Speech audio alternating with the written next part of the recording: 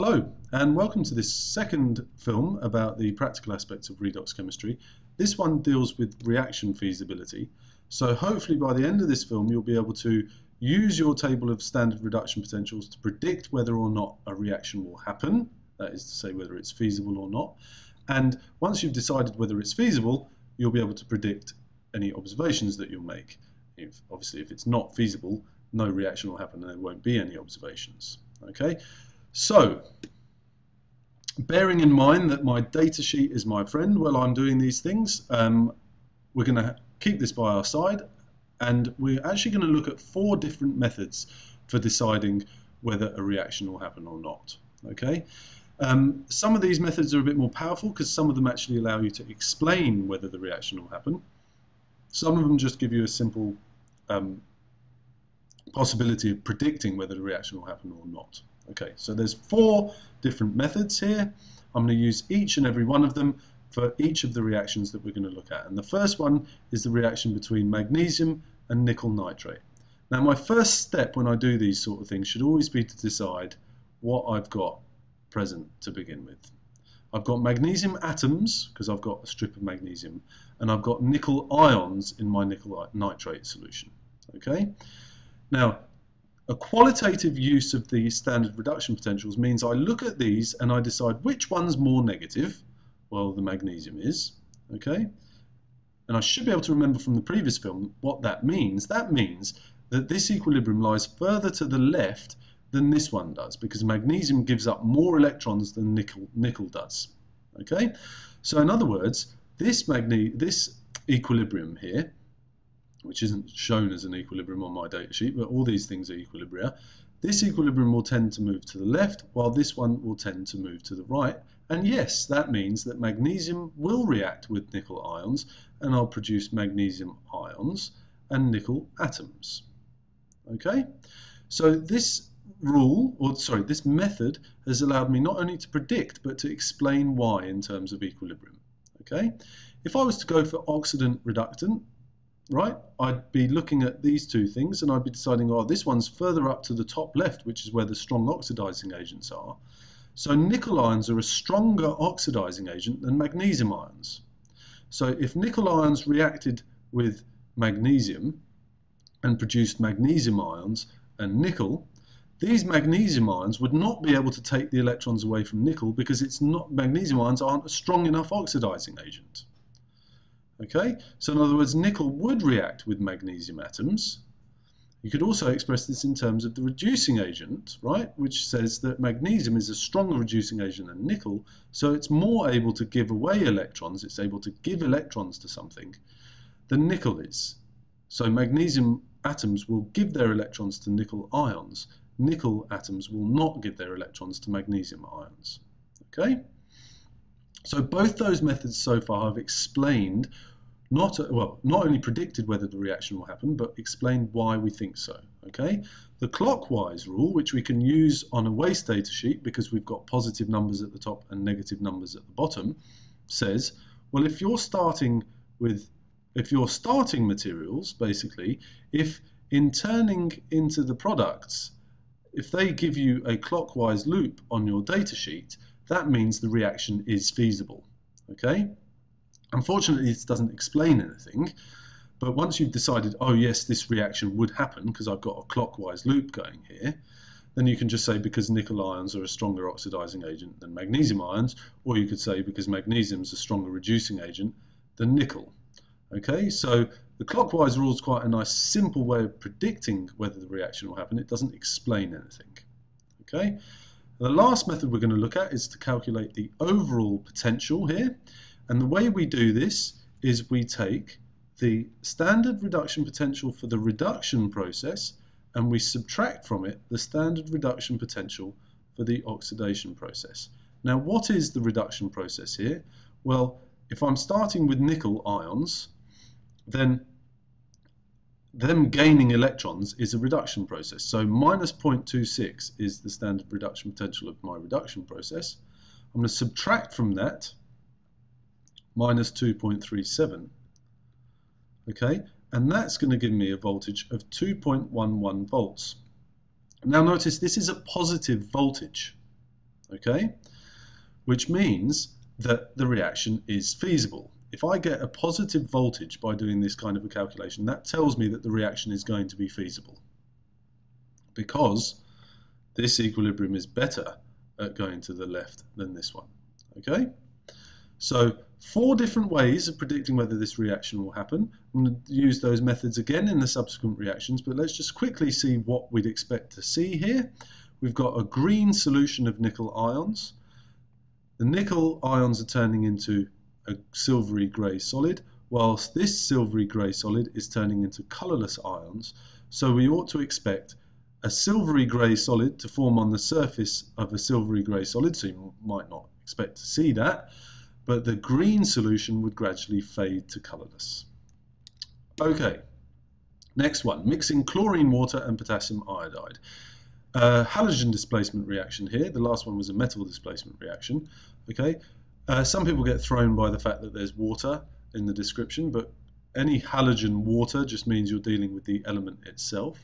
And potassium iodide, I've got iodide ions here, and if I was on the WACE data sheet, I'd have potassium ions down here. Okay. Now, the chlorine is reacting with one of those two ions. So if I just put the chlorine in green to show that it's going to react with one of the one of the reds, well, it can't react with this red because that would mean them both gaining electrons or both being reduced. So this one's out of the question. Okay. so I've ruled out the potassium ions. They're not relevant. Okay, they're going to be a spectator in my equation if I have to write an equation for this. Right? Chlorine using this first method has a more positive standard reduction potential than iodine does. So in other words, this equilibrium down the bottom lies further to the left and iodide ions are better at giving up electrons than chloride ions. Okay? So yes, chlorine will react and form chloride ions whilst the iodide ions will form iodine. And it's solid here, but remember it will dissolve in the water. Okay? So what's going on here? Well, chlorine is turning into chloride, iodide is turning into iodine. Why? Well, because this electrode potential is more negative, and so this equilibrium lies further to the left than that one. Oxidant reductant method. Out of my two possible oxidizing agents here, chlorine is the stronger oxidizing agent, so it will oxidize iodide ions. Chloride ions cannot oxidize iodine, so yes, we will form chloride and iodine from chlorine and iodide. Clockwise rule, well, that's the kind of obvious one. Yes, we're getting a clockwise loop if this reaction happens, so it is feasible. And calculating the overall potential, well, that's saying the reduction process, which is 1.36, minus the oxidation, minus 0.54, and that's uh, 0.82 volts. That's a positive number, so yes, this reaction is feasible. And remember, once I've decided that, once I've decided the reaction is feasible, didn't mention this in the previous reaction, we should know already how to combine these two half equations to get an overall redox equation. Okay, so writing an equation for this, once we've decided on uh, what's going whether it's going to happen or not, is just a matter of combining the half equations. Okay, what are we going to see? Well, a pale green gas is bubbled through this colourless solution, forming this colourless ion. So uh, we're swapping one colourless ion for another one, but the iodine that we form is going to dissolve in water, and we can look that up in our data sheet that I2AQ is a brown solution. So this colourless solution turns brown as this pale green gas is bubbled through it. Okay, moving on to the next one. I'm trying to speed up a little bit so this film doesn't get too long. Placing copper sulfate in an iron bucket. what have we got here to begin with? We've got copper ions and we've got iron metal. This is more negative than this one, therefore this equilibrium moves to the left and this one moves to the right. So yes, copper ions will form copper and iron will turn into iron ions. Okay, oxidant reductant method, copper ions are a stronger oxidizing agent than iron ions. So copper ions will oxidize iron, or in other words, iron is a stronger reducing agent than copper, so iron will reduce copper ions. Okay? Clockwise rule, we're starting on the left up here, and we're starting on the right down there. So yes, we do get a clockwise loop, so the reaction is feasible. Calculating that, we've got the reduction, which is 0.34, minus minus 0.45, and that equals uh, 0.79 volts. That's a positive number, so yes, this reaction is feasible. What will we see? Well, this blue solution will turn pale green, whilst this silvery grey solid dissolves, right, to form this green solution, and we're forming a salmon pink solid on the surface of the iron. Okay, this very, very, if you ever do this reaction, it doesn't look salmon pink, it looks kind of brown or sometimes even black, but because copper is described as salmon pink on your data sheet, you describe it as a salmon pink solid. And remember, combine the two half equations to get your overall redox equation. Adding dilute hydrochloric acid to copper turnings, what have we got here? We've got H plus ions and we've got chloride ions in our dilute hydrochloric acid. We're adding them to copper turnings, so we've got copper metal. Okay, copper metal simply can't react with chloride ions because they both have to lose electrons, so that one's out of the question. We're not comparing the chloride ions here. Hydrogen has a more negative electrode potential than copper. Okay, so this equilibrium lies further to the left and this one lies further to the right. They're already in those positions, so this reaction is not going to happen. Okay, oxidant reductant. Well, copper ions are a stronger oxidizing agent than hydrogen ions, and hydrogen is a stronger reducing agent than copper. So in other words, hydrogen ions will not be reduced by copper metal, and copper ions, sorry, and you could say that copper metal will not be oxidized by hydrogen ions. Okay, so no, this reaction won't happen. Clockwise rule, well, we're starting with copper and potentially turning into copper ions and hydrogen ions and potentially turning into hydrogen. That's anti-clockwise, so it's not going to happen. And calculating this, well, the reduction, the reduction would have to be the zero minus the oxidation, which would be 0.34, and that's minus 0.34 volts. That's a negative number, so this reaction isn't feasible. Uh, observations to be made, well the reaction isn't feasible, so uh, no visible reaction, and combining, well you could combine these two half equations to get an overall redox reaction, but it's, it doesn't happen, so it kind of doesn't make sense to write an equation for that one. Now then, this last one, um, it's a little bit tricky.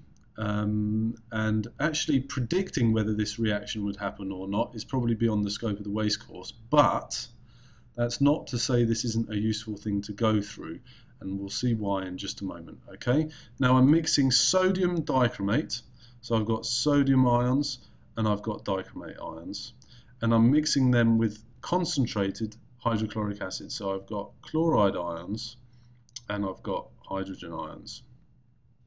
Okay, my dichromate can't react with hydrogen ions because both would have to gain electrons. My sodium can't react with hydrogen ions because both would have to gain electrons. So sodium ions aren't involved here, right?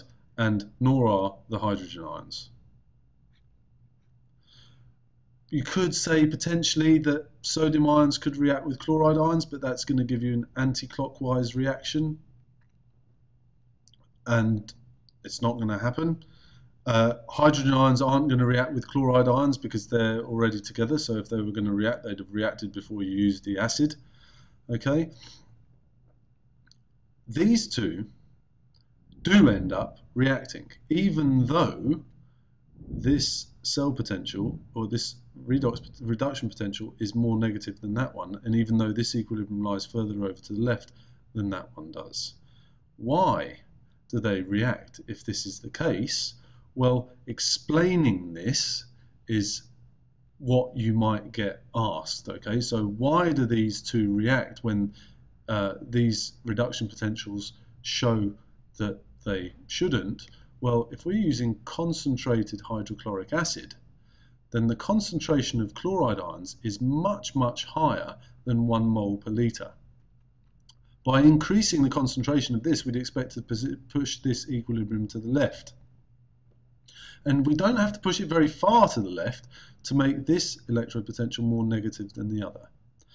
Okay, so whilst I would expect that because this is more negative than that one, the reaction wouldn't happen, and because um, dichromate ions are not as good an oxidizing agent as chlorine molecules, and because the clockwise rule isn't obeyed, and because 1.33 minus 1.36 is minus 0.03 volts. Wouldn't expect this reaction to happen based on those things. It does happen because we're not under standard conditions. Okay, so if you were asked to explain why this reaction happened in spite of the fact that it doesn't look like it should, the simple answer is we're not under standard conditions because the chloride ions are much more concentrated than one mole per litre. Okay, so hopefully um, you understand a few different ways of predicting whether a reaction will happen or not. There might be one that you prefer to the others, but try and bear in mind that some of them are more powerful in terms of explaining whether a reaction will happen rather than just predicting it. Okay, the clockwise rule is lovely and simple, but it really doesn't explain very much. If I've made any mistakes or if you've got any questions or comments to make, then please feel free to post a comment. It's really helpful for other students. Um, if you'd rather just come and ask a question in person, please feel free to do so, but make sure that you understand what was going on here before you move on.